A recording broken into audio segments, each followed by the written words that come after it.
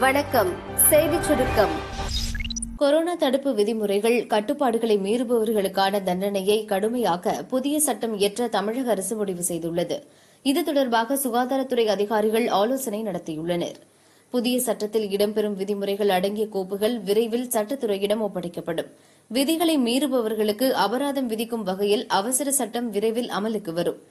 தொற்று தடுக்க மாஸ்க் அணிவது இடைவெளி கடைபிடிப்பது போன்ற அடிப்படை விஷயங்களை கூட மக்கள் சரியாக செய்வதில்லை. தொற்றும் அதிகரித்து வருவதால் புதிய சட்டம் கொண்டுவர அவசியம் ஏற்பட்டுள்ளது. தமிழகத்தில் தியேட்டர்களை இப்போதைக்கு திறக்க வாய்ப்பே இல்லை என்று அமைச்சர் கடம்பூர் ராஜு தெரிவித்தார். மக்கள் அதிகம் கூடும் இடம் என்பதால் தொற்று பரவ வாய்ப்புள்ளது. குறைந்த அளவிலான ரசிகர்களுடன் தியேட்டர்கள் செயல்பட்டாலும் அது தயாரிப்பாளர்களுக்கு பாதிப்பை ஏற்படுத்தும். வைரஸ் பாதிப்பு குறைந்த பின்பே தியேட்டர்கள் திறப்பது குறித்து முடிவு செய்யப்படும். ஓடிடி தளத்தில் படங்களை வெளியிடுவது சினிமா துறைக்கு ஆரோக்கியமானது அல்ல. தியேட்டர்களை திறக்கும் வரை பொறுத்திருந்துதான் ஆக வேண்டும் என்றார். கொரோனா தொற்றால் மருத்துவமனையில் அனுமதிக்கப்பட்டுள்ள பாடகர் எஸ் பி பாலசுப்ரமணியம் தொன்னூறு சதவீதம் மயக்க நிலையிலிருந்து மீண்டுள்ளார் என்று அவரது மகன் சரண் கூறினார். தந்தையின் உடல்நிலையில் முன்னேற்றம் ஏற்பட்டுள்ளது. சிகிச்சைக்கு நல்ல முறையில் ஒத்துழைப்பு தருகிறார். விரைவில் மீண்டும் வருவார் என்று நம்பிக்கை உள்ளது என தெரிவித்துள்ளார். எஸ்பிபியின் உடல் உறுப்புகள் சீராக இயங்குகிறது. நுரையீரல் இயக்கத்தில் ஏற்பட்டுள்ள முன்னேற்றம் ஒரு வாரம் தொடர்ந்தால் எக்மோ கருவியை விலக்க வாய்ப்புள்ளதாக மருத்துவமனை கூறியுள்ளது. திருநெல்வேலி கொடுமுடியாறு நீர் தேக்கத்தில் இருந்து கார் பருவ சாகுபடிக்கு ஆகஸ்ட் இருபத்தெட்டு முதல் தண்ணீர் திறக்க முதல்வர் பழனிசாமி உத்தரவிட்டுள்ளார். நவம்பர் இருபத்தி ஐந்து வரை வினாடிக்கு ஐம்பது கன அடி மிகாமல் தண்ணீர் திறக்கப்படும். நாங்குநேரி மற்றும் ராதாபுரம் வட்டங்களில் உள்ள இரண்டாயிரத்து ஐநூறு ஏக்கர் நிலம் பாசன வசதி பெறும். அணைக்கான நீர்வரத்து மற்றும் இருப்பை பொறுத்து வடமலையான் கல்வாய் மூலம் பாசனம் பெறும் மூவாயிரத்து இருநூறு ஏக்கர் நிலங்களுக்கு வினாடிக்கு பத்து கன அடி வீதம் தண்ணீர் திறக்கவும் உத்தரவிடப்பட்டுள்ளது. பார்லிமெண்ட் மழைக்கால கூட்டத்தொடர் செப்டம்பர் பதினான்கு முதல் அக்டோபர் ஒன்று வரை நடைபெறவுள்ளது. விடுமுறை இல்லாமல் இரு அவைகளும் கூடும்.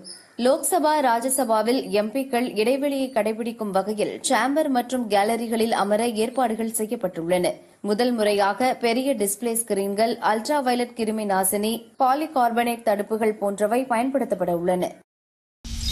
நீட் மற்றும் ஜேஇஇ தேர்வுகள் திட்டமிட்ட தேதிகளில் நடைபெறும் என்று தேசிய தேர்வு முகவை அறிவித்துள்ளது. ஜேஇஇ தேர்வுக்கான மையங்கள் ஐநூற்று எழுபதிலிருந்து அறுநூற்று அறுபதாக அதிகரிக்கப்பட்டுள்ளது.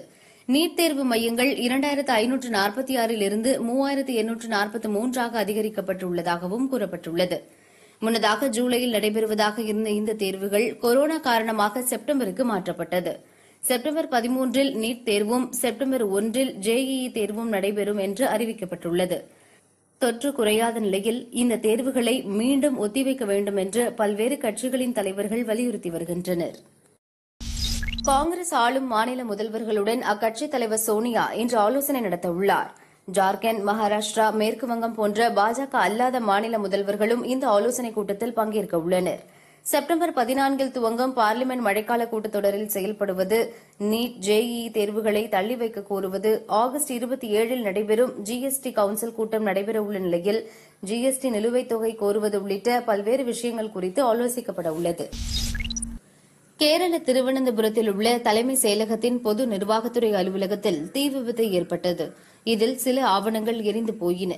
ஆளுங்கட்சியினர் வேண்டுமென்றே தீ வைத்து தங்கம் கடத்தல் விவகாரம் தொடர்பான முக்கிய ஆவணங்களை எரித்துவிட்டதாக கூறி பாஜக காங்கிரஸ் கட்சியினர் தலைமை செயலகம் முன்பு போராட்டம் நடத்தினர். ஆனால் எந்த முக்கிய ஆவணங்களும் எரியவில்லை என்று தலைமை செயலாளர் விஸ்வாஸ் மேத்தா தெரிவித்தார்.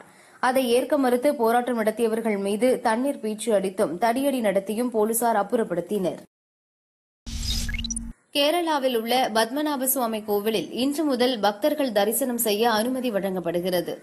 காலை எட்டு மணி முதல் பதினோரு மணி வரையும் மாலை ஐந்து மணி முதல் பக்தர்கள் அனுமதிக்கப்படுவார்கள். தரிசனம் செய்ய ஆன்லைனில் பதிவு செய்து ஆதார் அட்டையுடன் வர வேண்டும். ஒரு நாளைக்கு அறுநூற்று அறுபத்தி ஐந்து பேர் மட்டுமே அனுமதிக்கப்படுவார்கள்.